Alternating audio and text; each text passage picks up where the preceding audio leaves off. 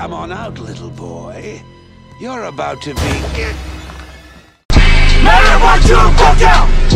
What we fight for? What we got guns for? I'm the an avatar! Y'all know y'all can't fuck with me!